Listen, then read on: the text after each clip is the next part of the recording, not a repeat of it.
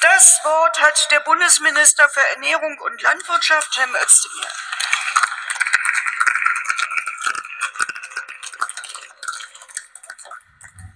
Frau Präsidentin, sehr geehrte Kolleginnen und Kollegen, meine Damen, meine Herren! Ich will mich zunächst mal bei den Kolleginnen und Kollegen der Regierungsfraktion für das Ergebnis der intensiven Beratungen, die mein Haus gerne begleitet hat, herzlich bedanken. Jede Fraktion musste sich dabei bewegen, dass wir gemeinsam zum Ziel kommen. Ich habe vor einigen Wochen von hier in der Regierungsbefragung betont, dass Demokratie vor allem dann stark ist, wenn wir Probleme lösen und die verschiedenen jeweils ja berechtigten Interessen so gut wie möglich in den Ausgleich bringen. Genau das tun wir hier.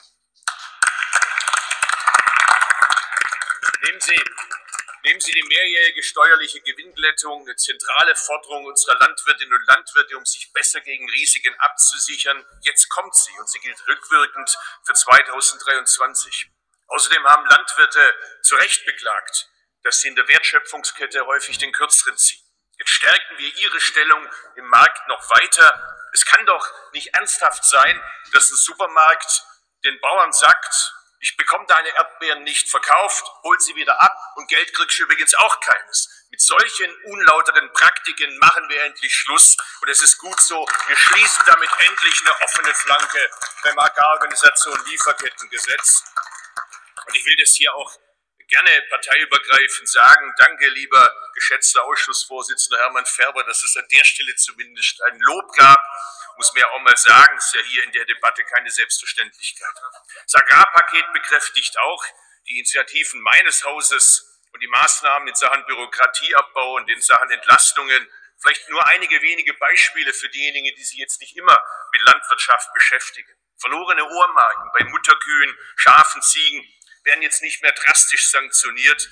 Da kann man sich schon auch mal fragen, warum auf diese Regelung nicht auch schon früher gekommen ist, will ich mal andeuten.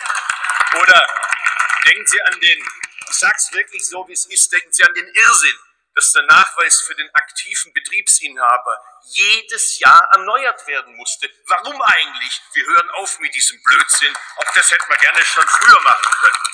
Und auch da gerne parteiübergreifend. Ich fand den Hinweis vom Kollegen Färber mit dem Kontrollaufwand, dass man den im Blick nehmen muss, finde ich einen guten Vorschlag. Das sollte man weiterverfolgen. Was die Konditionalität im Rahmen der GAP angeht, gibt es umfangreiche Entlastungen und Vereinfachungen für die Betriebe. Kontrollen und Sanktionen bei Betrieben bis zu 10 Hektar landwirtschaftlicher Fläche. Was passiert mit denen? Sie werden vollständig abgeschafft. Das bedeutet für mehr als ein Drittel aller Betriebe der Bundesrepublik Deutschland entfallen die Glötzkontrollen. Meine Damen, meine Herren, das kann man schon auch mal anerkennen. Auch das hätte man gerne schon früher machen können. Wir machen das jetzt. Und weil Sie gesagt haben, ich höre ja immer aufmerksam zu, wenn die Opposition redet, weil Sie gesagt haben, das mit den 4% Flächenstilllegung, also Glötz 8, das hätte ich ja jetzt nur gemacht, weil es Brüssel quasi mir ermöglicht hätte. Letztes Jahr habe ich es aber auch schon gemacht, da hätte ich es nicht machen müssen. Also Sie sehen doch daran, dass ich doch genau den Ergebnissen der gemeinsamen Agrarpolitik, wie wir es in der ZKL gemacht haben, verpflichtet bin. Dass ich nämlich weggehe von verbindlichen Regelungen in Richtung Angebote, sodass sich Artenschutz rechnet. Und auch da komme ich nicht mit leeren Händen. Sie wissen, wir müssen das Thema Wettbewerbsfähigkeit und Schutz von Artenvielfalt zusammenbringen, nicht länger als Gegensatz betrachten. Und darum auch hier eine gute Nachricht. Wir werden das Budget, wir werden das Budget für die Ökoregelungen erhöhen, und zwar ohne Abstriche bei der Einkommensgrundunterstützung. Und weil selbst Fach, Fachpolitiker nicht immer auf der Höhe der Zeit sind. Ökoregelungen gelten übrigens für alle Betriebe, ob konventionell oder bio, muss man auch vielleicht erklären. Also wer freiwillig mehr für Umwelt und für Artenschutz leistet, merkt künftig auf seinem Konto gute Regelung. Es hilft Ökonomie und Ökologie und so muss doch gute Politik sein.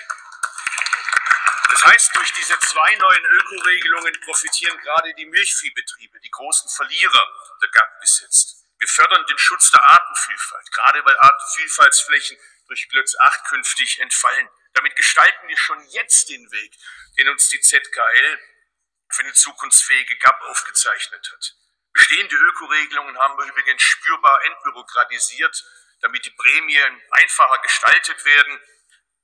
Ich sage es auch ganz offen, darauf sind die Landwirte gekommen. Ich habe, wie Sie wissen, ein Dialognetzwerk mit denen lasse ich mich regelmäßig beraten und ich nutze hier gern die Gelegenheit, Danke zu sagen an die Landwirte, die in meinem Dialognetzwerk sind. Die haben das vorgeschlagen, die haben gesagt, Özdemir, das, was Sie da gemacht haben, ist gut, aber das hat so nicht funktioniert, das muss angepasst werden und auch da komme ich mit einem Ergebnis. Das Ergebnis ist, dass die Ökoregelungen deutlich stärker nachgefragt werden wie im Vorjahr.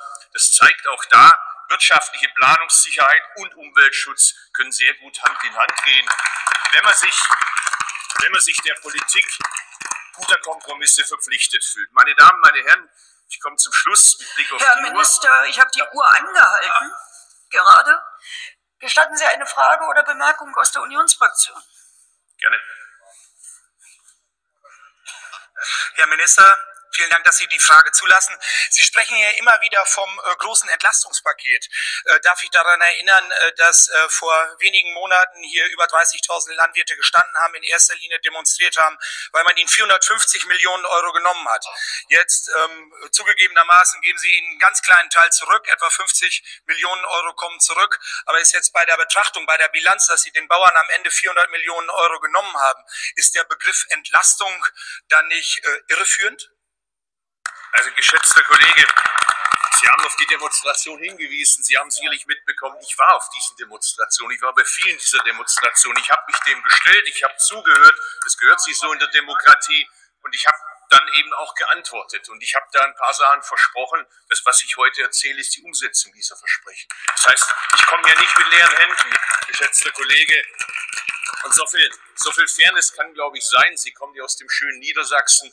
Ihr Bundesland ist eines der Profiteure, beispielsweise mit Schleswig-Holstein, für das, was wir für die Milchbauern machen. Wir waren ja die großen Verlierer. Ich habe es da vorher gesagt, äh, bei dem, was die alte Bundesregierung bei der GAP auf den Weg gebracht hat. Also, ich mache Ihnen einen Vorschlag. Sie kritisieren mich und kritisieren uns weiterhin. Aber ich fasse mal das zusammen, was die Union sagt. Die Unionsposition ist doch, läuft doch immer darauf hinaus, diese Bundesregierung, in dem Fall der Landwirtschaftsminister, ist nicht schnell genug im Abräumen dessen, was Sie über viele Jahre in Politik gemacht haben. Das ist doch Ihre Position, oder? Das, ist doch das, was Sie mir sagen, Herr Schlegemann. Ich fasse mal zusammen. Sie sagen, Özdemir, du musst schneller sein, du musst energischer sein im Abräumen dessen, was wir 16 Jahre gemacht haben. Okay, ich akzeptiere das. Ich akzeptiere das. Sie haben auch recht. Sie haben recht, man müsste mehr machen. Das ist halt nicht so einfach. Wir haben eine Koalition, wir haben die Bundesländer, wir haben Brüssel. Aber jetzt mache ich Ihnen ein Angebot. Kritisieren Sie mich weiter, aber helfen Sie gleichzeitig mit, dass das, was Sie als Ziel formulieren, dass wir das gemeinsam hinkriegen. Ich wiederhole mich.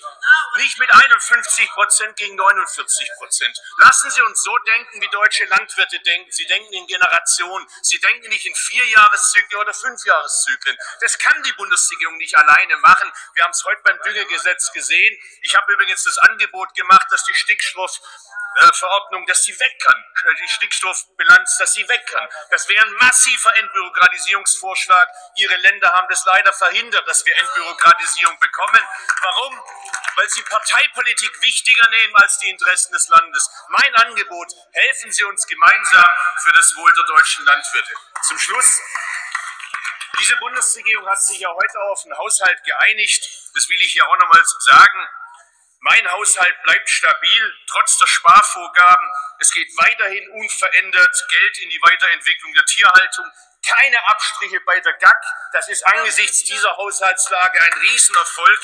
Keine Kürzungen bei der Agrarsozialpolitik. Ländliche Räume und Landwirtschaft haben weiterhin eine hohe Bedeutung für diese Regierung. Danke an die Koalitionsfraktion, danke auch an das Finanzministerium.